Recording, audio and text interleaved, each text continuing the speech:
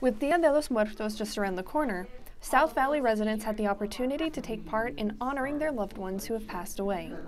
Ofrendas Comunitarias opened October 8th at the Gutierrez Hubbell House History and Cultural Center. Muertos y Marigolds, the organization that puts on the annual Marigold Parade, was not able to hold the parade last year or this year, so they opted to create an exhibit where the community could still take part in.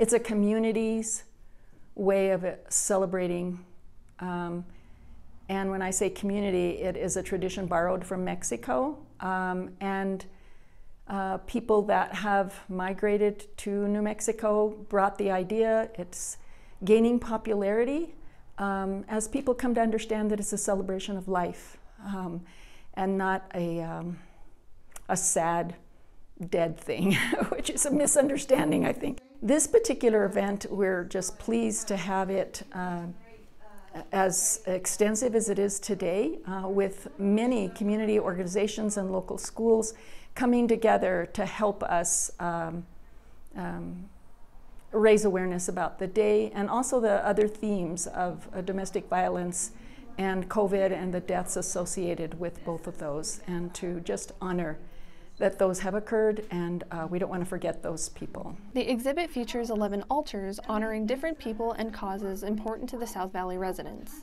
Families who lost loved ones to COVID 19 were also able to remember them as part of the exhibit. I was really uh, uh, pleased with one being invited to be, participate. That that made me happy, and and then also how um, it, it just took a few a few phone calls, and then we have this.